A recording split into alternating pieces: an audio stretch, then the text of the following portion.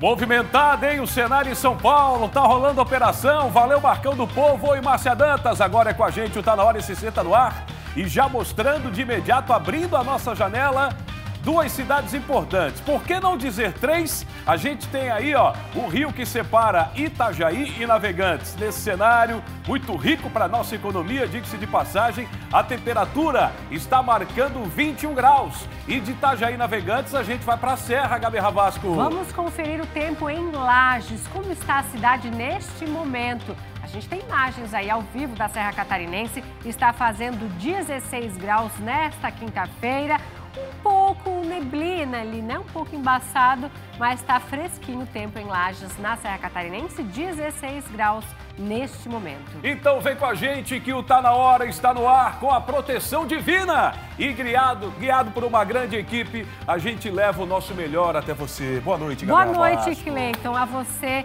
você de casa que nos assiste, muito obrigada por estar aqui conosco nesta quinta-feira. Tem muita informação aqui de Santa Catarina não está na hora de hoje. Então interatividade também. Já já a gente vai trazer aí qual é a interatividade para você participar e mandar zap. Sabe por quê? Porque hoje está bombando de assunto importante, quente, afinal de contas, o Tá Na Hora é informação, jornalismo e também prestação de serviço. Olha só, na série especial da semana, o Tá Na Hora continua mostrando a situação das principais rodovias federais aqui do estado. E hoje tem a terceira reportagem da série.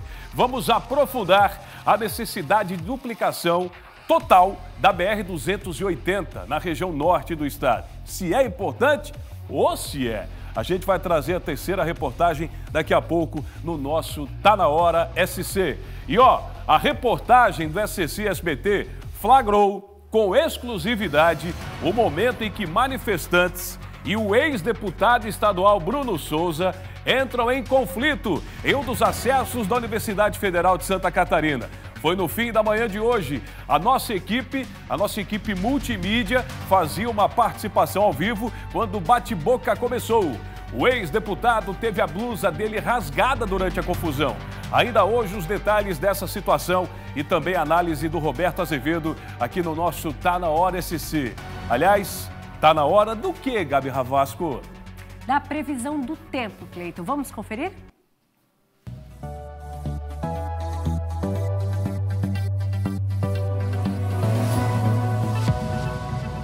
E logo no início do Tá Na Hora, a gente atualiza como vai ficar o tempo para você de casa se programar. A sexta-feira será de chuva em Santa Catarina por causa da formação de uma frente fria, associada ao sistema de baixa pressão no oceano. Com isso, podem ocorrer temporais com chuva pontualmente intensa, raios, rajadas de vento e eventual queda de granizo. Há possibilidade, gente, de alagamentos pontuais, danos na rede elétrica, queda de galhos e também árvores. Agora a gente vai conferir como, ficam, como fica a temperatura em algumas regiões aqui de Santa Catarina. A máxima que pode fazer é 27 graus no norte aqui de Santa Catarina. No restante, a gente não tem uma temperatura que sobe bastante. Vale do Itajaí no máximo 25 graus, litoral 23, assim como no oeste catarinense. Sul 18, Serra máxima de 19 graus. Agora vamos conferir como fica o tempo em algumas cidades aqui de Santa Catarina para sexta-feira, que será chuvosa em todo o estado. Itajaí, máxima de 23, mínima de 16. São José, máxima pode chegar a 22 graus. Chapecó, 20. E Urupema, considerada a cidade mais fria do Brasil, máxima de 17, mínima é de 13 graus. Preparem o guarda-chuva porque a sexta vai ser chuvosa em todo o estado. Agora eu vou me juntar ao Cleiton para convidar você de casa a montar o programa com a gente. Queremos é. muito a sua participação, né, Cleiton? Exatamente. O QR Code está aparecendo aqui. Ah, ah ó, ó. Hoje eu tô do lado de cá, Gabi. Gostei. Aí, gostou? Gostei. Passei, né? Ah, passou. Aprendi com você, Gabi. Já pode fazer, todo dia. 489-962-2676. Porque hoje o nosso tema é o seguinte, o Gabi Ravasco é mercado público, porque o pessoal, o pessoal mora aí no oeste do estado, no norte, na serra. Tem muita gente que, apesar de não morar aqui, já visitou o mercado cartão público. Cartão postal de Florianópolis. Que é um cartão postal, já comeu um peixinho, algo nesse sentido. E para essas pessoas, não só de Florianópolis, vale a participação também, porque a gente quer saber o que, que falta para o mercado público melhorar. O que precisa, gente? A gente precisa da opinião de vocês que frequentam o mercado público todo dia, que compram peixe, que comem naqueles restaurantes, que convidam os turistas é. a conhecer. O que, que, precisa melhorar? Posso fazer um adendo? Pode. Falar mal dos outros também, né? Ah, é? Porque o mercado público é onde se fala de tudo e de todos aqui na cidade. Todo mundo gosta do mercado. E todo mundo quer. Tem alguma pitadinha assim é. para melhorar, alguma opinião? E a gente quer saber a sua. Participe, mande um WhatsApp aqui no Na Hora SC. Interessante não só para você da Grande Floripa, mas para todo o estado também, porque, como bem disse a Gabi, é um patrimônio não só aqui da nossa região, mas também de todo o estado assim como Arena Condá de todo o estado, em Lages também muitos pontos e Blumenau por aí vai. E por falar nisso, o Ministério Público de Santa Catarina voltou a vistoriar o mercado público de Florianópolis e mais uma vez diferentes irregularidades foram encontradas. Por isso que esse é o nosso enquete de hoje aqui no WhatsApp e a gente vai ao vivo conversar com o repórter Victor Lexon que está neste ponto turístico, que está no mercado público e vai nos atualizar da situação e também dessa vistoria do Ministério Público, né, Vitor? Boa noite para você. Boa noite, Gabi, Cleiton e todos que estão acompanhando o Tá Na Hora SC.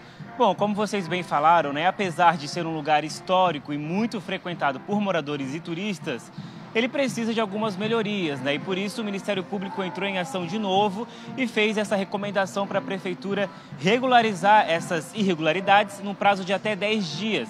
São irregularidades como segurança, limpeza, manutenção, ou seja, uma série de coisas. Inclusive, o Corpo de Bombeiros esteve hoje aqui no local para fazer uma série de vistorias. A nossa equipe fez uma, uma reportagem para mostrar mais detalhes sobre essa recomendação do Ministério Público. Vamos ver. Mais uma polêmica envolvendo o mercado público de Florianópolis. Desta vez, o Ministério Público de Santa Catarina recomendou que a Prefeitura da capital resolva no prazo de 10 dias uma série de irregularidades em um dos principais pontos turísticos do município. Infelizmente, os problemas não foram resolvidos e alguns se somaram a eles ainda problemas de limpeza, problemas de manutenção, de higiene, problemas de, de, segurança, né? Segundo o MPSC, as seguintes providências devem ser tomadas: reparar ou substituir equipamentos de segurança, especialmente o sistema de prevenção a incêndio, consertar ou substituir telhas que estão causando goteiras, o que também vale para o teto retrátil colocar em funcionamento banheiros desativados, informar a existência de contratos de manutenção permanente nas áreas de segurança predial e limpeza, apresentar atestado de habite e alvará de funcionamento. Com toda essa história, com essa arquitetura, com essa cultura, com todo esse peso que ele tem do ponto de vista turístico, ele não tenha banheiros é, funcionando é, o único banheiro funcionando esteja numa situação degradante, né, que não tenha acessibilidade, que tenha goteiras se projetando sobre as mesas onde as pessoas ficam, né? Então, isso é inadmissível. O Corpo de Bombeiros Militar de Santa Catarina fez uma vistoria no local durante a manhã desta quinta-feira, 16 de maio. A depender de qual sistema preventivo estiver desacordo, o prazo é diferente. Se o sistema preventivo, é, por exemplo, que a gente considera vital, a série de emergência, o extintor, muitas vezes a gente já pede para fazer na hora ou um prazo bastante reduzido, porque é algo que impacta bastante a indicação. Se for algo maior, um sistema hidráulico preventivo ou alarme, a gente sabe que muitas vezes precisa de um tempo maior para conseguir fazer o reparo. Na parte de documentação, o alvará do mercado público emitido pelo Corpo de Bombeiros é válido até outubro deste ano. E segundo a administração do mercado, uma revisão completa aconteceu ainda nesta semana em todo o sistema preventivo de incêndio da estrutura. Em nota, a Prefeitura da capital informou que já iniciou um processo licitatório para executar as demandas necessárias e ele deve ser finalizado até o começo de junho. Com relação ao sistema de incêndio, a manutenção acontece de forma regular, segundo o município, e uma nova visita por parte do executivo deve acontecer ainda hoje para a checagem do sistema.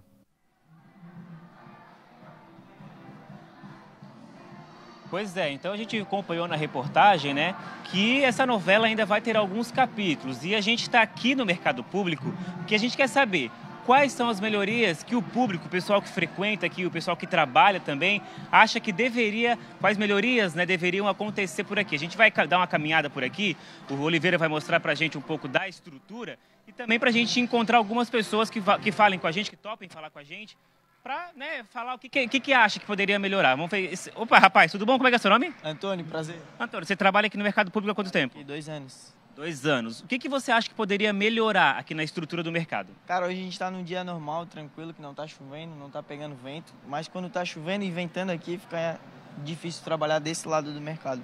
Porque a gente tem um vão aqui aberto com chuva e aqui pega o vento da parede. Então não tem nenhuma estrutura para fechar, para proteger aqui a área de, de alimentação, né?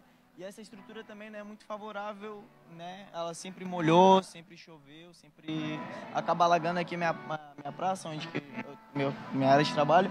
A gente provê aqui uns guarda-sol, né?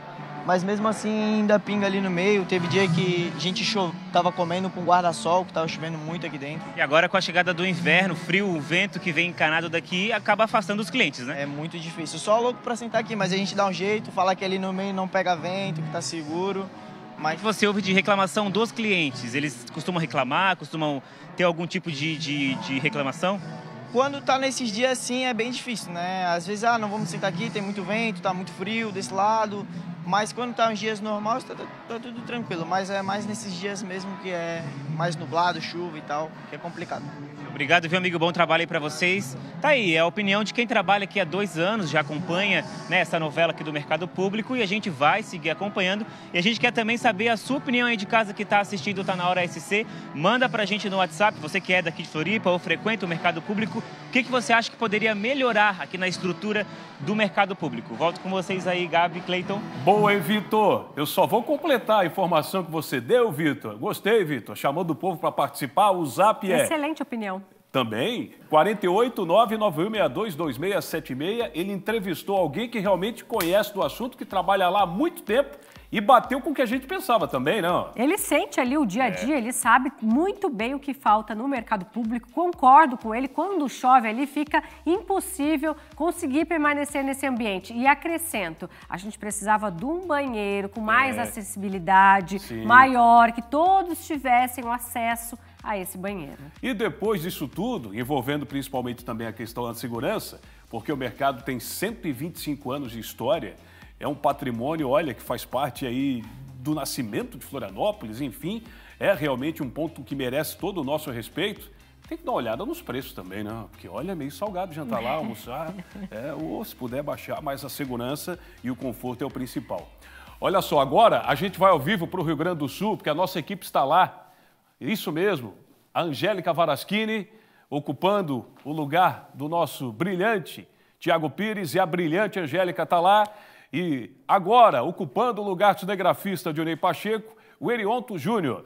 A nossa equipe está lá, está no Parque do Imigrante, que é o maior abrigo para as vítimas das enchentes. Isso na região de Lajeado, que fica no Vale do Taquari. Angélica, o espaço é seu, Angélica.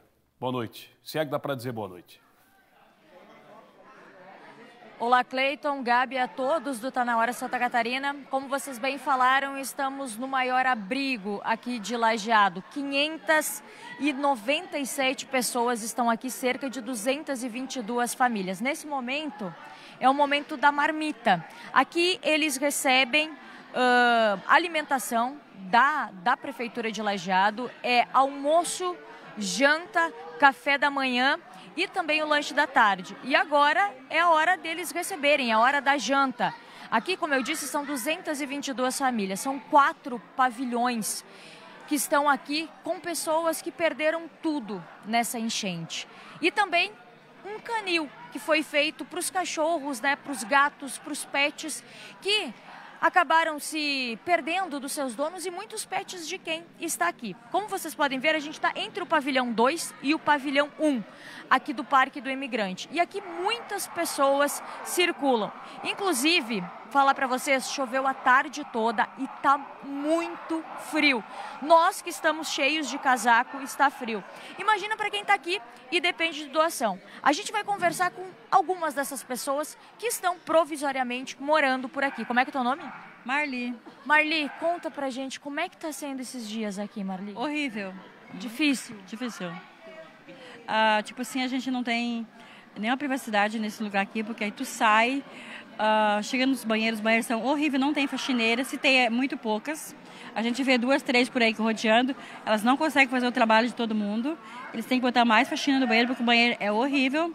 O que tem segurança demais, tu encontra quando a gente vai pegar comida, é civil, parece que a gente é uns animais que estão ali, ó. Eu tô me sentindo assim que eu sou uma, em vez de ser uma uma fragelada, eu tô me sentindo que eu sou uma bandida. Pois é, isso é complicado, né? E aí vocês precisam também de doação. A gente tem que ser bem é, rapidinho. Vocês precisam de doação. Gente, tipo assim, calcinha, sutiã, meia, moletom. A gente não tem nada Frio. Disso. Frio. Pois é, aqui é muito frio. Obrigada, eu tenho viu, querido? mas não tenho roupas. Precisamos de roupa. Roupa, gente. Doação de roupa. E é o que o pessoal tá fazendo aqui, ó. Doação. Como é que é o teu nome? Patrícia. Patrícia, bem rapidinho pra gente. Trouxe doação porque Trouxe. tá difícil chegar aqui, né? Tá. Tá difícil. Às vezes vem doação de, de, igrejas e o povo tem que fazer a fila lá na rua, porque eles não deixam o caminhão entrar. E não é um caminhão grande, é um caminhão bem, bem pequeno. E o pessoal foi ontem, ontem, estavam todo mundo lá na rua, tá? Pegando a doação lá, com o caminhão lá embaixo, porque não estavam deixando. Então, quer dizer, outra coisa que está faltando, que eu vejo aqui, é lavanderia, uma coisa que se estão morando aqui, vão ficar por bastante tempo, tem que ter uma lavanderia para eles lavarem as roupas. Tá? Obrigada pelo teu depoimento. Eu sei que tu tem mais coisa para falar, mas depois a gente vai conversar, viu? Porque o pessoal tá assim, sabe, não sabe quanto tempo vai ficar aqui por tempo indeterminado. Antes da gente chamar o que para vocês verem o que a gente viu e acompanhou hoje, Irionto mostra que a gente não vai entrar muito por causa do sinal da internet, tá? Mas é assim que eles ficam. Aqui é um dos ginásios. E assim é dividido por lonas para essas pessoas que estão desabrigadas. Como eu disse, mais de 200 famílias estão aqui no ginásio. E hoje, nós estamos aqui em Lajeado, mas a gente teve a oportunidade de passar por uma passarela flutuante entre Lajeado e Arroio do Meio. Porque depois que a ponte foi embora, que o Rio Taquari derrubou toda essa ponte, essa é a única maneira deles passarem. Antes da passarela, que foi feita ontem pelo Exército, eles só conseguiam andar de bote. E tem muita gente que trabalha em Lajeado e mora em Arroio do Meio e vice-versa. Gente, e é dessa maneira que eles têm que passar. É com bota, guarda-chuva, tem que botar o colete salva-vidas, às vezes está sujo, e assim que eles fazem todos os dias. Nós atravessamos também, não foi fácil, mas é essa a vida que eles têm. E a gente vai mostrar para vocês agora um pouquinho do que a gente veio, viu aqui.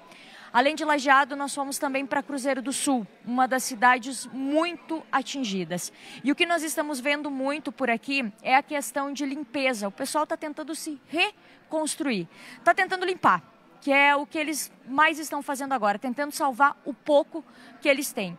E é isso que vocês vão ver agora. Alguém que está tentando reconstruir pela segunda vez a sua vida. Olha aí. Nada. É só barro que a gente encontra. Barro e lodo. Aqui é o pessoal que está tentando reconstruir. Irionto, mostra aquela casa lá. Vocês estão vendo o telhado? Foi lá que o rio Taquari chegou. Nós estamos em Cruzeiro do Sul com o Bira. O Bira mora aqui. Bira, como é que tá a situação? Tudo isso aqui é teu. Perdeu tudo de novo, Bira? É, mais uma vez, ó, a segunda ou terceira vez que a gente perde, porque eu sou um cara que sou meio voluntário na comunidade, estou sempre ajudando todo mundo. A gente fica aí como os vizinhos aqui também, a gente fez um mutirão, estamos limpando as casas e temos aí, perdemos todos, todos. Não tenho o dizer que não, mas tem que recomeçar. Eu acho que Deus mostrou que o poderoso é Ele, a natureza, a gente tem que respeitar, porque não existe tu ser mais bonito que eu, andar fatiotinha, tu tem que ser feijão com arroz. Eu acho que é isso que vale o povo, é respeitar o outro. O amor estava faltando. Vocês conseguiram sair tua família toda conseguiu não, não, A gente sempre sai por último, sempre sai por último. A gente fica ajudando, tirando as coisas e sempre sai. Só tem umas duas saídas, aqui e ali no passo. Quando pegar água ali, pode esquecer que não tinha mais nada, né? E agora você está na fase de limpeza. A gente pode entrar ali na tua casa? A casa, a casa não é mais minha, é de Deus agora. então tá vamos lá, tá vamos junto com a gente para ver. Deu para salvar alguma coisa ou nada? Não, a gente conseguiu tirar uma geladeira, uma televisão que a gente tinha, uma televisão grande que a gente tirou, e um joguinho de sofá antigo que a gente tinha ganhado e o resto. E a roupa, e umas roupas de cama e roupa, e roupa pra sair, a gente saiu com a que tinha, né? Gente, e olha aqui, isso que sobrou da casa do Birer ontem. Olha aqui, mostra alguns móveis que foi o que deu para tirar. Será que dá para salvar, para limpar, Birer? nós vamos tentar, outras vezes nós lá vemos, vamos ver se dá, né? Tentar de novo, mais uma vez, né? Bira, quem morava aqui? Quem mora aqui? É você eu, e quem? Eu, a minha esposa, a Vanessa, a Moa, né? E o meu filho, Felipe, de, 12, de 11 anos, né? Nós três aqui, e a minha filha, os dois netinhos, moram naquela outra casa também que tá lá, né? E aqui todo mundo aqui do bairro perdeu tudo? Todo mundo, todo mundo. É uma tristeza. Aqui a, a, o bairro é pobre, mas é um bairro muito unido. Tudo gente boa, gente pura. A gente sabe, conhece o nome, apelido, sobrenome, tudo. A casa um do outro, né? Aqui é a cozinha do Bira. E foi tudo, né, Bira? Foi tudo, foi tudo. O balcão tá pedra ali, ó. o balcão se desmanchou, né? Foi tudo, foi tudo. O que tinha aqui, foi tudo. Tinha televisão ali também, ó. foi ali. Então, foi tudo. Aqui a cozinha é que sobrou isso aí. Apesar que nós já tinha feito de pedra uma parte, continua, né?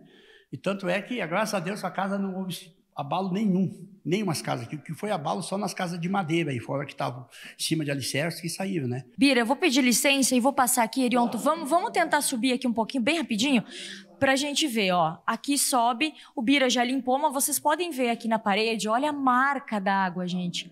Foi lá no teto, foi lá no teto, por isso que se perde tudo. Erionto vem devagarinho por aqui, aqui também tem mais uma parte, aqui um quarto, tem uma cama, Aqui mais um cômodo também, a gente vai entrar. O Bira conseguiu limpar aqui a família, mas a gente vê. Ó, a câmera daqui. Foi tirado para limpar o ar-condicionado. Gente, e é essa.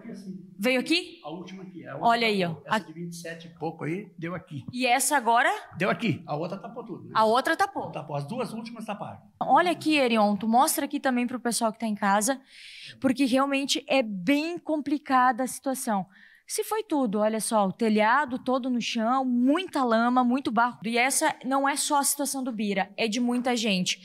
Agora, Bira, é respirar, agora que tá limpo, e tentar seguir em frente, é isso? É, respirar e, rezar que Deus acalente o coração de todos, não só meu, de todos, né? E essa então é a situação. Bira, o abraço você falou que é bem importante. Um abraço agora te faria bem, Bira? Faz bem para qualquer pessoa que então, precisa. Obrigado. Aqui, Deus te abençoe, minha filha. Bira, tá? força, viu? Obrigado. Que, que Deus lhe dê força para construir. para você, para a SBT, mostrar a verdade. Mostrar a verdade, sinceridade, não aquela fantasia. Parabéns. Sou muito fã do Silvio Santos. Além de estar na miséria, mas temos feliz, tá? Temos vivo, É tá? isso aí, gente. É Obrigado. É esse espírito. Isso aí. De fé e de reconstrução. E é isso que a gente espera que aconteça aqui no Vale do Taquari. Uma paulada para todos nós, né? O senhor perdeu tudo aí, mostrando ainda sorriso e a felicidade, né? Estampada no rosto e a sensibilidade humana também dessa pessoa que é sensacional, Angélica Varaschini. Olha só, a nossa audiência ultrapassa o estado de Santa Catarina através do nosso canal do YouTube. Agora, nesse momento, são 3.098 pessoas assistindo simultaneamente o canal do SCC SBT. Agora subiu para 3.114 pessoas. Eu quero mandar o meu abraço, o nosso carinho, meu, da Gabi, de toda a equipe aqui do Tá Na Hora para você que está no YouTube acompanhando a gente através do SCC SBT. Faça sua inscrição, são mais de 800 mil inscritos. É um verdadeiro case de sucesso. Rumo a um milhão. Bora acessar lá também.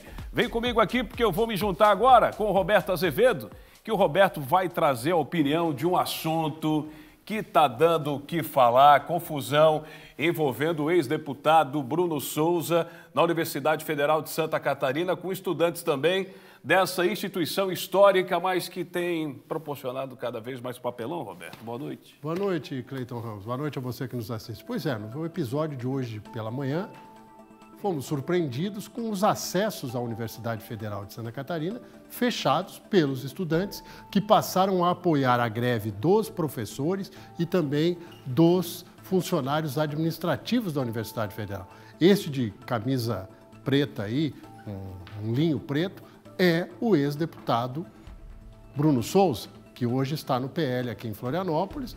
Ele tenta passar pelo lugar, tirar a, a, o que aquela de, vamos chamar de barricada que os estudantes, né? é, que os estudantes fizeram, tenta, há um enfrentamento entre eles e os estudantes. Eles, ele mostra, ele está gravando com o celular, os estudantes não gostaram, ele me relatou o seguinte: que ele foi conversar com os estudantes e perguntou: a Universidade Federal de Santa Catarina, a direção da UFSC, é conivente com o que vocês estão fazendo? E que os estudantes não responderam e passaram a dizer que ele não podia gravar, etc. e tal. E foi isso, esse é um episódio que durou bastante tempo. Bastante tempo. Não há vias de fato, mas há episódios onde os estudantes empurram o ex-deputado e até rasgam a blusa dele. Uma parte já está rasgada, a outra vai ser rasgada depois. Os estudantes alegavam que ele tentou desobstruir o local, que isso não é justo, porque a greve é legítima. A greve é legítima, é um direito assegurado em lei. Agora, baderna não. Fechar o acesso da UFSC já é impedir a entrada de pessoas e isto não é algo absolutamente intrínseco num modelo de greve, principalmente onde ela é legalizada. E a questão foi por aí, eu perguntei ao deputado, o senhor vai fazer algum BO, algum tipo de ação contra os estudantes? Ele disse que quando foi conversar com a polícia militar, já havia sido desobstruída, aliás, havia não, havia sido desobstruído toda e qualquer barricada na UFSC. Tudo tinha sido liberado. A gente Nós tem imagem. Tem inclusive imagens disso. Isso. Esse episódio aí aconteceu por Olha volta só. de 11h30, meio-dia, e de, logo depois já estava tudo liberado pelos próprios estudantes, que também entenderam que não estavam ajudando ninguém, nem professores, nem servidores administrativos nesse episódio. E aí eu também questionei a ação política. Bruno Souza diz que está formando o PL em Florianópolis, que não é candidato a nada, está apoiando, e eu questionei, mas o senhor não é um dos nomes para ser vice do prefeito Topázio Neto do PSD? E ele disse, não estou trabalhando para isso. Detalhe, Cleiton Ramos, Sim. a gente deu uma estouradinha aí. Ele disse que ele quer só recuperar uma coisa: o gravador digital que desapareceu no episódio. Pois é. O gravador digital dele desapareceu no episódio. Ele disse que se, se alguém achou, se um estudante pegou, pode devolver para ele que não vai ter problema nenhum. Pacífico não foi, né, Roberto? Não, não Quando é. você não faz é. isso aí, não é pacífico, não, né? Não e é. eu fico é. pensando aquelas cabeças pensantes que estudaram na UFSC, que um dia já foi referência para o Brasil inteiro e, e hoje é. acaba proporcionando esse tipo de ato aí. É, isso aí é. Eu vou, digamos o seguinte: quando a gente exagera no movimento, a gente está sujeito a isso. Evidentemente, a desmobilização foi provocada por alguma ação externa, tipo, libera porque a gente não quer mais criar confusão. Eu acho que o telefone tocou e o pessoal tocou. foi lá tocou, e. Tocou, tocou. E a gente sabe qual telefone que toca às vezes, Exatamente. né? Valeu, Roberto. Daqui a pouco você volta, né? Volto, volto. Roberto Azevedo, que tem a sua coluna no portal SCC10. Olha só, a gente vai agora com o Zap, porque a gente fez uma enquete hoje, né, Gabi, sobre o mercado público. E a gente quer saber a sua opinião. O que tem que melhorar no mercado público aqui de Florianópolis, um ponto turístico da capital catarinense que precisa da sua ideia? A Débora Sabrini de Joinville. Boa noite. Na minha opinião, deveria melhorar a segurança e a limpeza do mercado público. De que adianta ser um ponto turístico se não tem uma estrutura adequada para receber turistas? Eu amei essa opinião. Obrigada viu, Muito pela boa. sua participação. Valeu, Débora. Pode colocar a próxima aí, o Guilherme Meneghel. Boa noite. O atendimento dos garçons precisa melhorar. A abordagem, quando se chega ao mercado público, é muito invasiva, chegando a ser desconfortável. Você não tem tranquilidade para analisar as opções disponíveis com calma e tranquilidade. A vontade é sair correndo e não voltar mais. Olha a opinião do Guilherme aí, a gente. opinião do Guilherme aí em relação ao atendimento feito pelos garçons. Obrigada pela sua participação. O Rafael Padilha, de Florianópolis. Boa noite. Para melhorar o mercado público de Florianópolis, é preciso investir em mais infraestrutura, na limpeza e higiene e também na segurança do local. Obrigada pela sua participação. Valeu, Rafa, obrigado. Tem aí a Ana Lúcia Raimundo de Palhoça. Boa noite, amo assistir vocês. O mercado público deveria ser todo fechado por causa do vento sul. Que susto. Ficaria mais quentinho. Também levei um susto. Nossa, eu levei um susto. Todo fechado. É. Não, Ana Lúcia. Mas essa opinião Mas bateu. é verdade, Ana Lúcia. Por causa do vento, né? bateu com o que disse aquele Vento, funcionário lá. chuva. Agora, tem um detalhe também, ô, Gabi. Ah. Eu vou dar um relato aqui é, pessoal. Eu já presenciei o mercado público, belo atendimento ali e tal, mas aqueles pombos às vezes acabam Pois é. despejando cada torpedo que pode cair na comida. Então, aquela questão Nunca dos tinha pensado nisso. também precisa ser olhada com carinho. Certo, Gabi? Certo. Gabi Ravasco, olha só, com toda essa situação no Rio Grande do Sul, muitos gaúchos que tiveram que sair de casa estão indo para outros estados. Isso mesmo. E tem nome para quem passa por essa situação. São os refugiados climáticos. Hoje você vai conhecer a história de um casal de idosos que saiu de Canoas e veio para Florianópolis depois de perder a casa. Uma tristeza só. Acompanhe a reportagem. Olhares perdidos que já não sabem onde focar. O que traz o brilho são as memórias do lugar que foi abrigo de tantas histórias.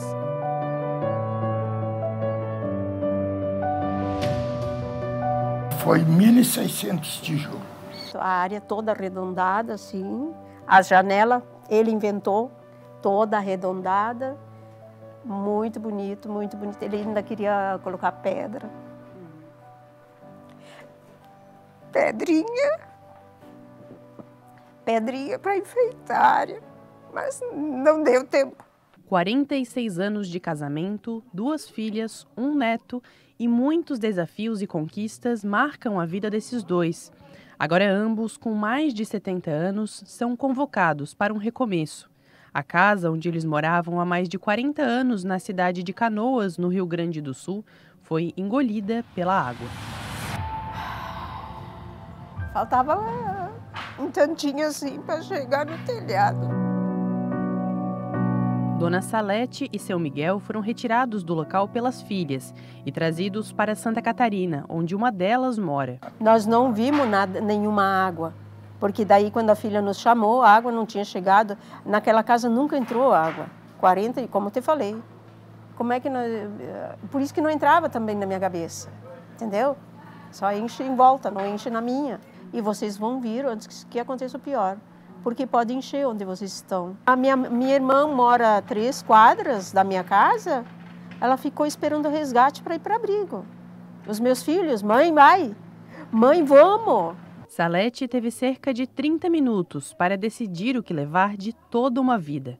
Lembrou dos santos, dos remédios de Miguel, que tem Parkinson e polineuropatia, e da calopsita Chiquinha. Como eu tinha aqueles minutos só, eu só joguei dentro da sacolinha aquele remédio não vi mais nada. Lá vinha eu com a minha vida na, na, na sacola, sabe? Naquelas sacolas ali. Os dois aposentados, que no momento usam as roupas do cunhado, vivem com um salário mínimo cada. Os remédios de Miguel têm um custo mensal de R$ 1.200, mas que eles conseguiam retirar no posto de saúde em Canoas. Aqui em Florianópolis, eles foram ajudados por voluntários que custearam um aluguel até o dia 10 de junho. Depois desse período, a vontade é de voltar para casa, mas que precisa ser reconstruída. E a permanência aqui também é difícil. O Miguel tá com a roupa dele, eu tô com o blusão dele também. Não, mas aqui é muito caro. Lá a gente ganhava o remédio, agora aqui não sei se funciona assim. Aqui muda tudo. Num futuro ainda mais incerto do que o normal, o casal que trabalhou a vida toda para ter um lugar para chamar de seu agora vive um dia de cada vez. Eu não vou levar uma pessoa doente para um lugar contaminado, completamente contaminado. Eu não vou levar, não posso, né? Porque ele vai ficar mais doente e eu vou ficar doente também. Outra, eu sou eu que cuido dele lá e a filha dá suporte que mora lá. Como que eu vou dar trabalho para a filha que está nos ajudando a sustentar?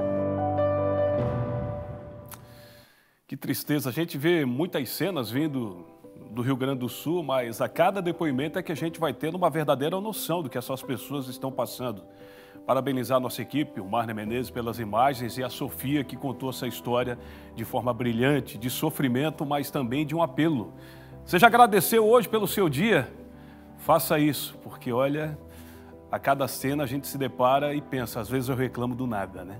É uma paulada que esse povo está passando, gente. Olha, são inúmeras as ajudas que eles estão precisando, que vão desde imóveis, estrutura da casa, eletrodomésticos, roupas e até mesmo serviços e ajuda de advogados para recuperar documentos.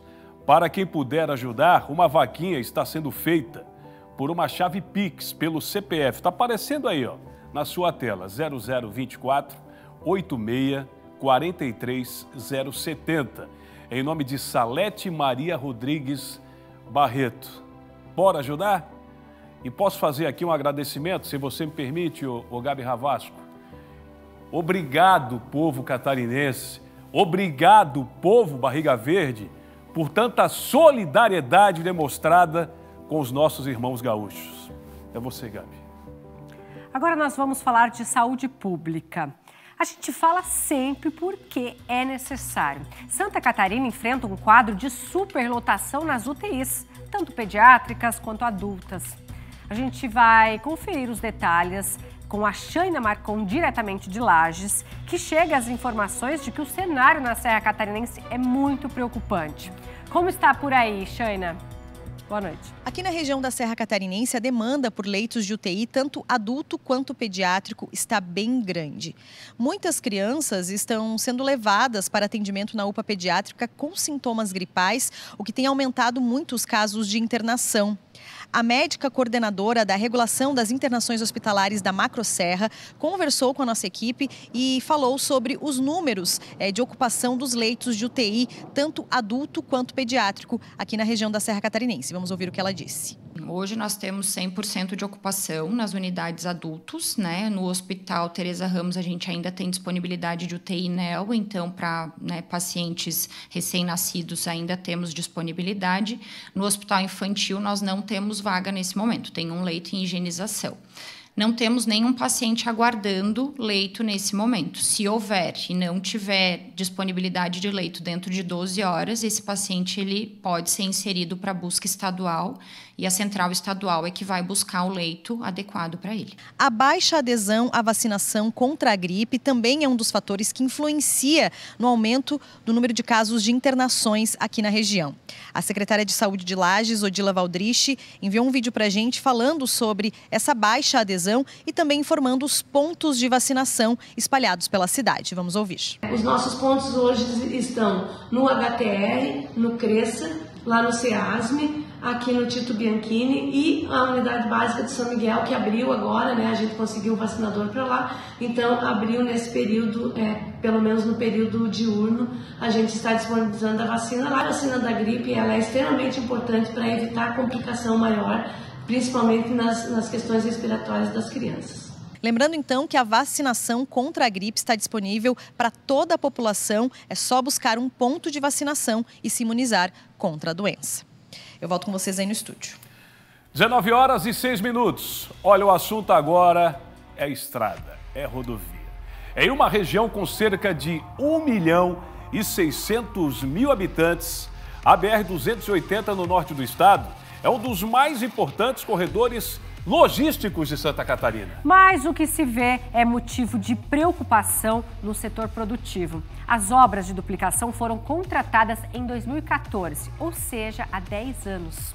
Há um valor inicial de 1 bilhão de reais e eram para estar prontas em 2018. Mas, adivinhem, até hoje não foram concluídas. Meu Deus. O que representa uma perda financeira para a indústria de Santa Catarina, que, segundo a Fiesc, não tem como calcular. Bora conferir? Vamos assistir a reportagem. Vem com a gente.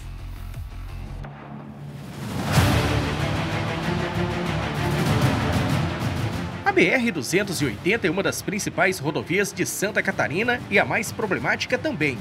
É por ela que passa grande parte dos produtos que movimentam a nossa economia. Já no quilômetro 1 da rodovia federal, o maior problema é a lentidão no trânsito, provocado pelo grande fluxo de veículos que entra e sai do porto de São Francisco do Sul. Para resolver parte do problema, a direção do porto projeta requalificar todo o trecho da BR-280 na área urbana do município.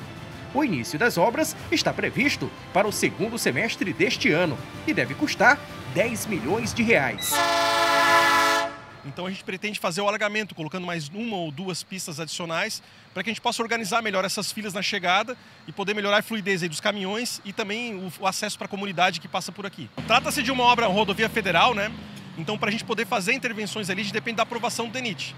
Então a gente está elaborando o projeto, que vai ser concluído agora em abril, para ser submetido, apresentado para o DENIT aprovar e aí sim a gente pode licitar e poder executar a obra nesse trecho que é federal, né? Os desafios por aqui são grandes, pois circular pela BR-280 requer cuidado e atenção. Isso porque a estrada que liga os municípios de Joinville a São Francisco do Sul apresenta problemas da malha asfáltica, como buracos e má sinalização. Na região de Araquari, por exemplo, as obras que foram iniciadas em agosto de 2014 não têm data para ser finalizada, o que provoca congestionamento durante todo o dia. As vias laterais até foram concluídas, mas continuam fechadas para a circulação de veículos, situação que, segundo o prefeito do município, afeta a economia da região. Causa prejuízo, seja ele econômico, de mortes. Nós perdemos funcionários da prefeitura, amigos que morreram nos anos 80, seja nesse trecho aqui, seja no trecho que liga 101. É muito perigoso. Muitas empresas deixam de vir para Araquari, Barra do Sul e São Francisco, porque não tem né, uma via que, que desafogue e tal. A 280 ela acaba atrapalhando muito. É vergonhoso, é muito frustrante como está a malha viária no nosso estado de Santa Catarina. Espero de verdade que isso tão logo seja resolvido.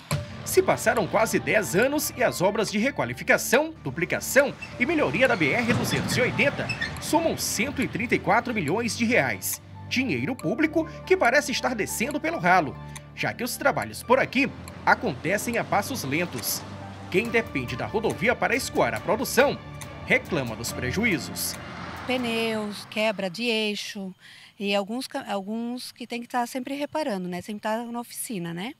Fora o risco com a demora da, da dessa duplicação e, e, obras que tem na BR-280, né? Essa que liga Jaraguá, Massaranduba. Jorge é caminhoneiro e trafega pelas rodovias de Santa Catarina desde os 19 anos. A empresa onde ele trabalha gasta em média 200 mil reais anualmente com a manutenção dos caminhões que vivem danificados por conta da precariedade das rodovias. O caminhoneiro sente insegurança toda vez que pega a estrada. Muito arriscado, né? A gente pegar a estrada todo dia, quem trabalha tem é, necessita, né, do, do, caminhão, da rodovia para trazer alimento para casa. É, se deparar com é, essas estradas tão precárias, né? A gente não sabe o que, que está por acontecer, né? Outra rodovia com problemas estruturais é a BR-101, que liga três estados brasileiros e é altamente perigosa. Dados da BRF revelam que em 2023 foram registrados mais de 1.080 acidentes, com 37 mortes somente na região entre Joinville e Garuva. A BR-101 se junta a 376, entre o Paraná e Santa Catarina, e que também tem grandes índices de acidentes. Ao todo, só em 2023 foram registrados 1.074 acidentes com 14 vítimas fatais. Quando os acidentes acontecem, o trânsito fica parado por horas, o que causa ainda mais transtornos para os municípios. Essas BRs viraram motivo de discussão entre a Associação Empresarial de Joinville e órgãos governamentais. Nós tivemos um grupo de empresários e lideranças estiveram em Brasília, junto à NTT, para tratar do assunto da repactuação da concessão artérias. Né? Então, da repactuação do prazo, não estavam contemplados principalmente melhorias do trecho de Garuva Barra Velha né, das marginais, dos elevados nas intersecções. Então, nós levamos um projeto que foi muito elogiado e agora estamos aguardando para saber o que realmente a Arteres é, protocolou junto à NTT se as, de, de, toda essa repactuação se está contemplado esse trecho de Garuva Barra Velha. Uma pesquisa feita em novembro de 2023 pela Confederação Nacional dos Transportes indica que 67% das estradas do Brasil foram classificadas como ruim ou péssima. É que problemas como falta de placas, acostamentos e reparos do asfalto afetam diretamente a logística e o desenvolvimento do país, que, segundo a CNT, pouco investe na malha viária.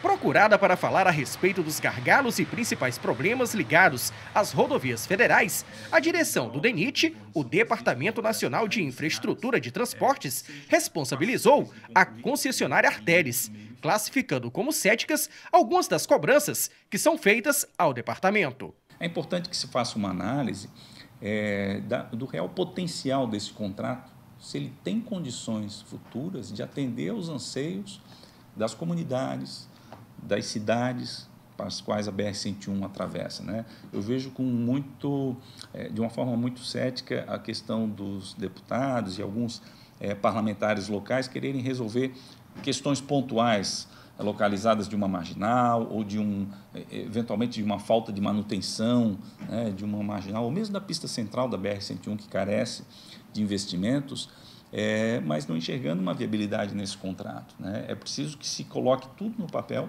e veja se esse contrato, uma eventual prorrogação, de fato, ela pode dar uma resposta consistente ao usuário ou se pode remodelar de uma outra forma, chegue para um outro patamar de tarifa e se possa restabelecer um novo contrato com uma nova empresa, né, talvez como uma alternativa plausível para as demandas futuras.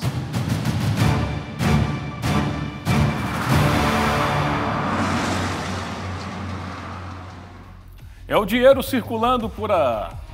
Não por essa, né? Por outras que já estamos mostrando aqui. E quantas vidas poderiam ser preservadas, certo, Roberto? Olha, a 280 é a prova inequívoca da nossa falta de competência para gerir um negócio de sucesso. Porque ela chega exatamente a dois importantes portos no litoral, no extremo norte de Santa Catarina, no nordeste de Santa Catarina, chamaríamos assim, e ela é uma via de passagem constante para o pessoal daquela região. E aquela região é uma região de riqueza, absolutamente de muita riqueza. Ali nós temos Joinville, mais abaixo nós temos Jaraguá do Sul, mais acima São Bento do Sul e por aí vai. Agora, por que, que não sai do papel? Porque sempre tem um burocrata que vai dizer para você, para mim, ou tentar nos convencer de que não é prioridade, porque o sul do Brasil tem pequenos problemas. Cada caminhão destes que passa nesta rodovia traz progresso, traz riqueza e traz desenvolvimento. É uma palavra que o Brasil precisa se acostumar cada vez mais. E quando você quer desenvolvimento, você tem que ter logística e infraestrutura. Se não tiver nenhum nem outro, você não vai completar o ciclo. Infelizmente, as nossas autoridades, e não é deste governo, nem do anterior, nem do anterior, de todos os governos da República que passaram por esse país, ignoraram a importância da BR-280. É uma BR absolutamente viável. Uma rodovia destas duplicada, e é um processo de duplicação tão lento, vai a passo de tartaruga, que a gente não sabe se vai ter condições de acabar. Tinha que ter terminado em 2018. Nós estamos em 2024. É piada, né? É piada. Mas, enfim, vai ter que ter uma solução. E agora, para encerrar, encerrar Cleiton, uma notícia triste para o mundo intelectual de Santa Catarina, para o mundo jurídico e até político. Faleceu hoje, aos 82 anos, em Balneário Camboriú, o advogado, o jurista, o ex-juiz federal, o escritor, o ex-vice-prefeito de Florianópolis, Péricles Prade. Ele enfrentava problemas de leucemia, mas estava internado num hospital em Balneário Camboriú por causa de uma forte gripe. Faleceu hoje, não suportando uma parada cardíaca. Ainda não há detalhes da família sobre enterro, velório, porque recentemente ele trocou Florianópolis por Itapema. Certo. Péricles Prade marcou presença na cena intelectual de Santa Catarina e deve ser reverenciado por isso. Em Florianópolis, ele foi vice-prefeito de Angela Min, do PP, e ele no PSDB. Só que ele renunciou antes de completar o mandato de vice-prefeito. Nossos sentimentos a todos familiares nesse dia de muitas perdas também para a crônica esportiva. Verdade. Silvio Luiz, o Washington Rodrigues, o Apolinho e também o Antero Greco. Daqui a pouco a gente vai falar mais sobre isso com a Dominique. Roberto, você falou que era para ser entregue a obra em 2018? E o que dizer então, olhando para aquela câmera lá, Gabi Ravasco, do contorno viário? A gente vai falar sobre isso amanhã, aqui no nosso Tá Na Hora. Agora, mata uma curiosidade minha, do Roberto, do pessoal de casa. O contorno viário tá no freezer ou tá na geladeira aí, ô Gabi? Ah, que lindo. Eu vou dar gente. uma olhadinha, mas olha, Olha, vai lá. acompanhando toda essa história, eu acredito que está no freezer. Por quê? Na geladeira não tá não, né? Na geladeira não tá, ó. Na Ah, geladeira é. são assuntos que são mais fáceis de ser Certo, resolvidos. Quando a gente coloca no freezer, quer dizer que já congelou, só Deus É para ajudar essa situação. Deixa eu ver se tá por aqui. Ah, sabia, ó. Ah, É o que tá mais tempo aqui, gente, ó, ó. tá aí, ó. Contorno, Contorno viário. viário. Só Deus para nos ajudar, porque olha, a gente não acredita mais em promessas, em planos. Tá bem difícil. Amanhã você confere a reportagem especial da nossa série que vai falar sobre o contorno viário. Agora eu vou devolver aqui. Esperamos tirar logo daqui do freezer, que vá, que saia daqui, que o problema seja resolvido. Agora a gente vai falar, vai mudar um pouquinho de assunto para a gente falar sobre saúde pública. Um reforço o Estado teve. É, 16 municípios aqui do Estado receberam hoje novas ambulâncias do SAMU, do Serviço de Atendimento Médico de Urgência. Vamos ver.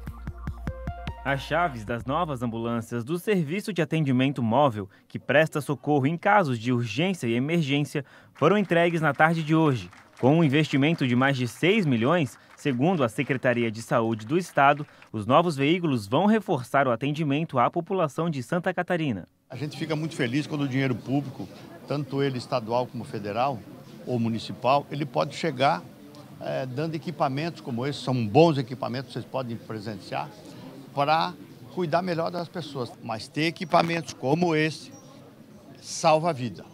76% da frota do SAMU será renovada. Essas 16 ambulâncias fazem parte do pacote das 81 novas adquiridas pelo Estado. Essas trocas de ambulâncias, elas normalmente se dão pelo Ministério da Saúde, mas nós estamos fazendo pela Secretaria de Estado da Saúde com recursos do Tesouro do Estado. São veículos que dão mais segurança e garantia de assistência à nossa população de Santa Catarina. Um instrumento a mais que os gestores de saúde têm para a proteção à vida humana. Sabemos da importância dessa distribuição das ambulâncias, não só para Vargem, mas para toda Santa Catarina, com o intuito de continuar cuidando e preservando a vida humana. É isso aí, a saúde merece. Agora, bora contratar médicos, porque também é necessário. Agora, 19 horas e 20 minutos. A Seara Alimentos deve assumir as operações de contêineres no porto de Itajaí. A expectativa é que a empresa que já atua em Itajaí através de um terminal privado comece a operar no segundo semestre deste ano na área arrendada do porto de Itajaí, com movimentação mensal de 44 mil, isso mesmo, 44 mil teus, que é a unidade de contêiner equivalente a 20 pés. O anúncio foi feito pelo ministro dos Portos e Aeroportos, Silvio Costa Filho em reunião do Fórum Parlamentar Catarinense.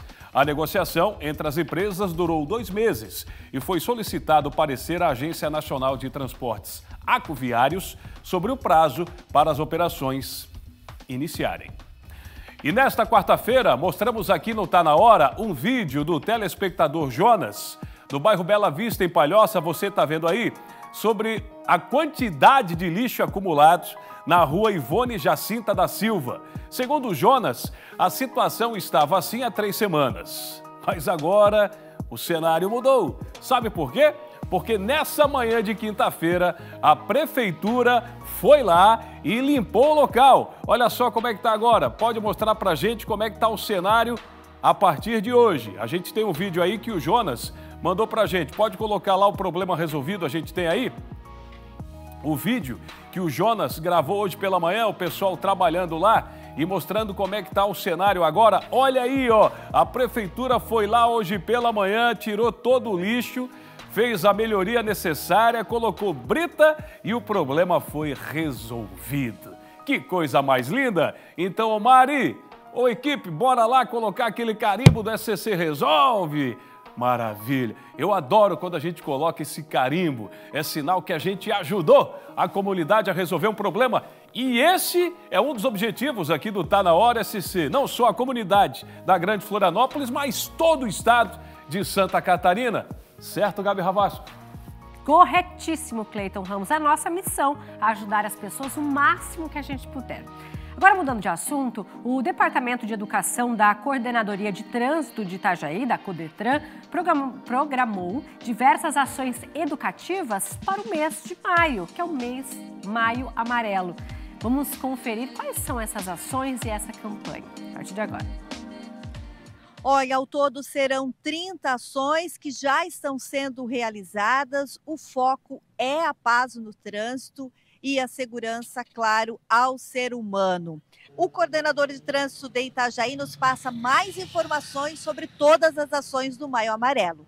Acompanhe. Dentre as diversas ações, nós temos três ações principais, né? Uma instrução de conscientização e abordagem à pessoa com deficiência, que vai atingir aí mais de 200 profissionais de segurança pública do município. O Itajaí Moto Segura, uma edição que está sendo premiada nessa sexta-feira no Consens, num, num, evento a nível nacional, como segundo projeto de educação, o Seminário de Segurança Viária, que vai ocorrer no auditório da Secretaria de Educação, que vai ter diversos profissionais atuando e discutindo opções para a educação no trânsito no município. Dentre outras ações, como a formatura de 250 alunos do Programa Motorista do Futuro, O Moto Segura para empresas, que, estão sendo, que está sendo desenvolvido também. Olha, sobre essa ação do Moto Segura, as inscrições seguem abertas e podem ser feitas por meio do QR Code que você acompanha aí na nossa tela. A ação acontece no dia 25 de maio. Palestras, seminários e ações com crianças com o slogan Motorista do Futuro também estão na programação. E é o diretor de Educação no Trânsito que nos passa mais informações. E nosso foco realmente é nas crianças. Fizemos, fizemos um trabalho muito grande com elas. É, fizemos a formatura do Motorista do Futuro que são quatro encontros em sala de aula com as crianças, onde ali nós é, passamos para elas conceitos de trânsito, cidadania, ecologia. Como eu sempre digo, é, a criança tem que ser um bom filho, tem que ser um bom aluno, tem que ser um bom cidadão para depois chegar a ser um bom motorista. Ao todo, serão realizadas 17 palestras em empresas e escolas públicas e privadas, e os interessados podem fazer o seu agendamento, a agenda ainda está aberta, por meio do e-mail edutrânsito.itajaí.sc.gov.br. Volto contigo ao estúdio. Obrigado, Cris. Bora tomar um café, Bora, Gabi? Gabi. tá bom, já até serviu o meu, Opa, Cleiton. olha só, eu quero mandar um abraço para Dona Eliette, que é mãe da Ellen, nossa colaboradora aqui. Um beijo, tem uma filha Beijo. maravilhosa, viu? Sensacional, Parabéns. Dona Eliette. É que ela costuma dar uma passadinha, né, aqui Ah, no é? estúdio e acaba batendo papo com a gente, como ela fala. Dona Eliette, adora. Vamos Um tomar um cafezinho, Dona Eliette? Hum, tá bom, hein? Cheiroso, quentinho. Depois tem o quê? Esporte, gente. Daqui a pouco, Dominique Cabral chega atualizando tudo do mundo esportivo pra você. Não saia daí.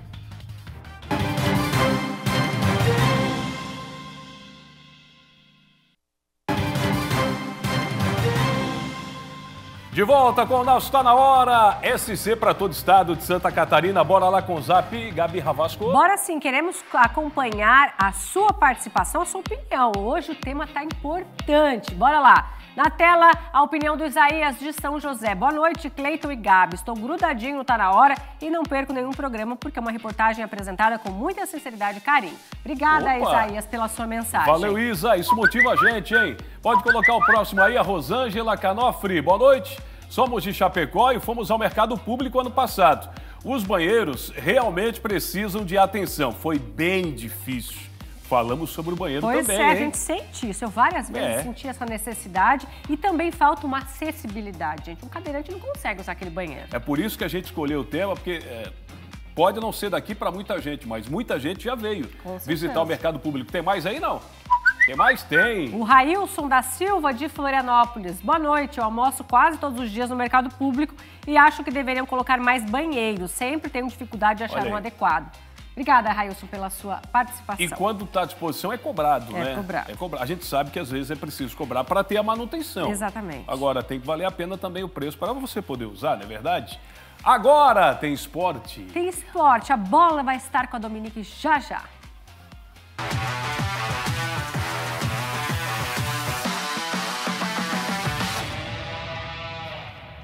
Fala, Domi! Fala, Gabi! Bora de esporte? Bora lá, contigo! Então a gente já começa mostrando tudo o que aconteceu nos Jogos da Sul-Americana dessa quarta-feira. No geral, a noite não foi das melhores para as equipes brasileiras. Bora conferir. Na Liga Arena, em Curitiba, o Atlético Paranaense perdeu para o Danúbio, do Uruguai. Os visitantes saíram na frente quando Inácio Pintos, de cabeça, fez 1 a 0. O zagueiro Kaique Rocha errou o tempo do kick da bola e o Fernandes aproveitou para fazer o segundo. Já na etapa final, Lucas de Ouro descontou para o Furacão, mas terminou assim: Atlético Paranaense 1, Danúbio 2. Maneira ficou tudo igual entre Boca Juniors e Fortaleza. Os gols saíram só no segundo tempo. Zenon fez boa jogada e deixou Cavani na cara do gol para assim abrir o placar. Já nos 45 da etapa final, Kevin fez ótimo lançamento para Marinho, que puxou o contra-ataque e devolveu para Kevin aparecer livre na área e mandar para as redes. Na Arena Pantanal, Cuiabá e Deportivo Garcilaso do Peru ficaram no empate. Pablo Agostinho aproveitou a cobrança de falta para fazer 1 a 0 para os peruanos. O gol do empate do Dourado veio dos pés de Fernando Sobral, que acertou um belo chute de fora da área. E acabou assim: Cuiabá 1, Deportivo Garcilaso também 1. Depois dessa rodada, Atlético Paranaense e Fortaleza já garantiram vaga para a próxima fase. E o Cuiabá vai jogar os playoffs da competição. E mais duas equipes fecham a quinta rodada da Sul-Americana e a gente passa para vocês os jogos dessa noite.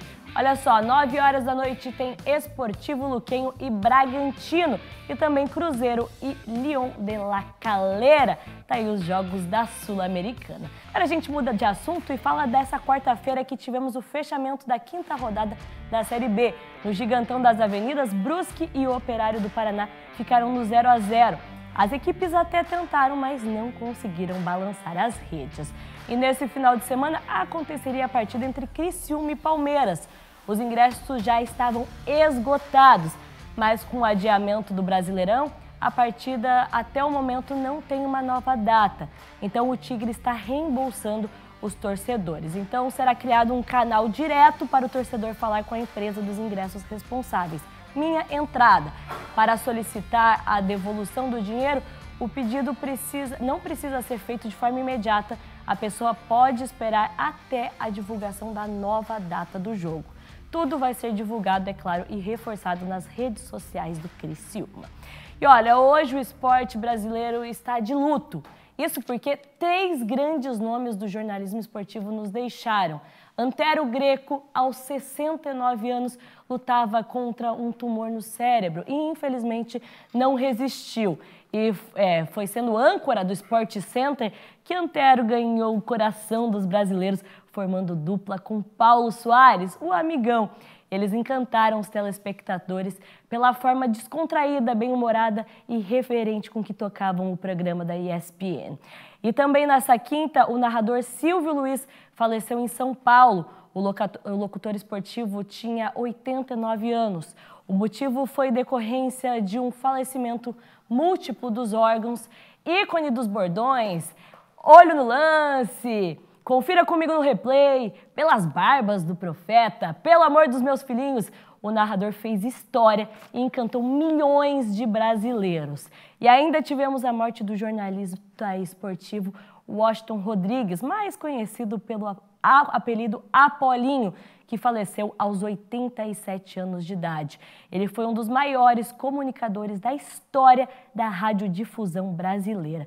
Cleiton, você, você acompanhou muito mais, é claro, que Os eu. Os três. E a gente só tem, acho que, a agradecer por tanto que eles fizeram para o jornalismo esportivo. Eu atuei no esporte por mais de 20 anos, quase 25. Eu saía da faculdade ouvindo a Super Rádio Tupi 1280, que entrava à noite aqui e eu ia para casa ouvindo o Apolinho, que tinha como expressão é chocolate. Grande Apolinho, que foi técnico do Flamengo em 96, treinou um time que tinha no elenco Romário, Edmundo e Sávio, o ataque dos sonhos. Inventaram ele de técnico, mas ele era homem do rádio. Inclusive, trabalhou na Rádio Nacional com Márcio Martins, esposo da Karen Martins, nossa colaboradora.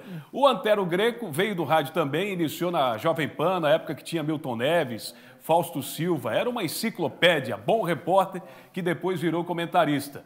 E o Silvio Luiz, que você falou os bordões, eu tive o prazer de jantar com ele uma vez quando trabalhava na Band, e ele era uma figura sensacional. Isso foi em 2005 para 2006. Silvio Luiz, que era o único narrador que não gritava a palavra gol. Já viu? Tem narrador, todo narrador grita gol, ele não gritava gol. Ele falava foi, foi, foi, foi ele. Sávio, craque da camisa número 11. Ele jamais gritava a palavra gol. Ó, para esses três aí. A gente tira o nosso chapéu, né, Cleiton? Tudo de uma vez só, no único dia. O esporte brasileiro está de luto. Valeu, Dominique. Até amanhã. Inclusive, quem quiser acompanhar aí a passagem de Silvio Luiz no SBT, ele que narrou duas Copas no SBT em 94 e 86 e participou também em 98.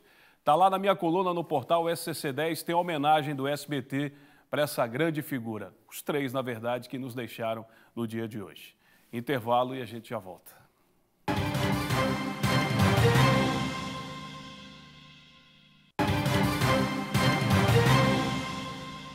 De volta com o Tá Na Hora SC ao vivo para toda Santa Catarina.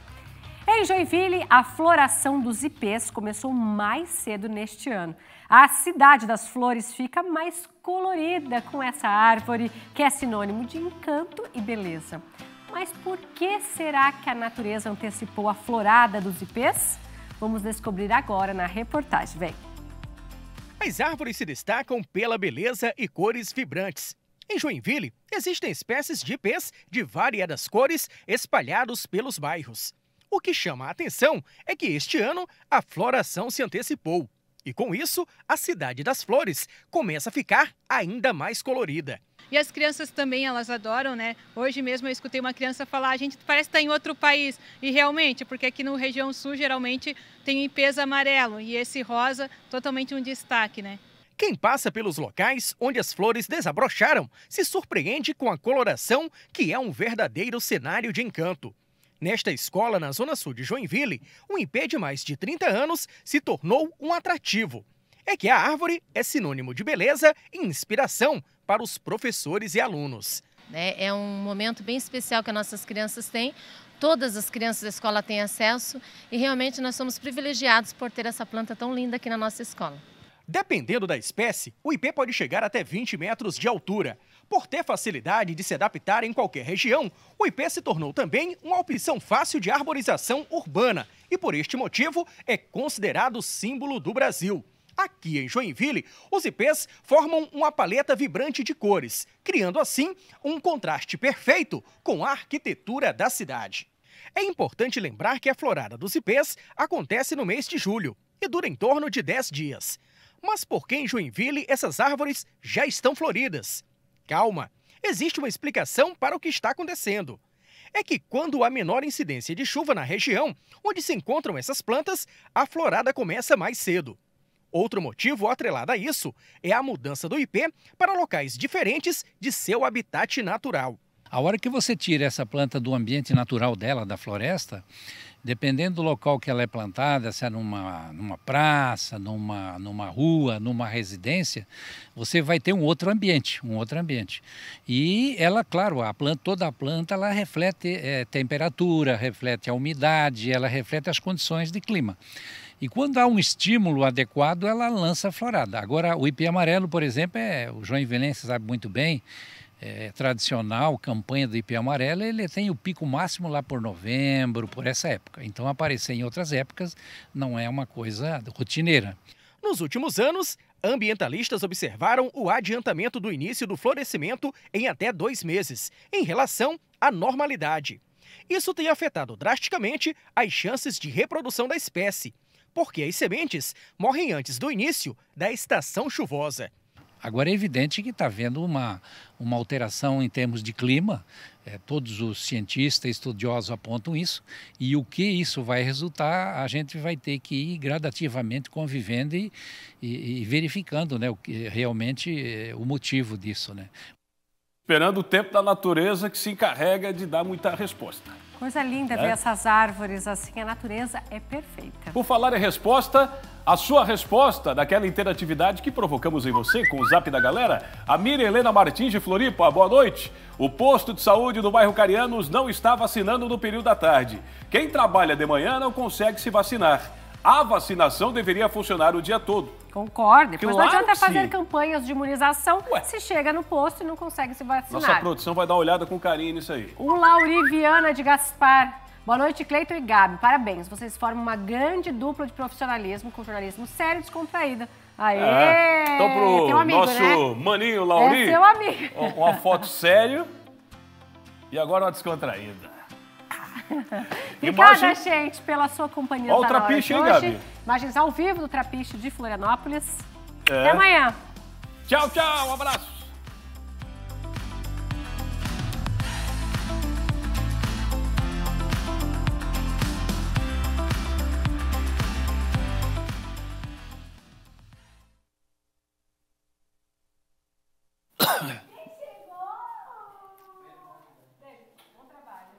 Olha aí, dinossauro!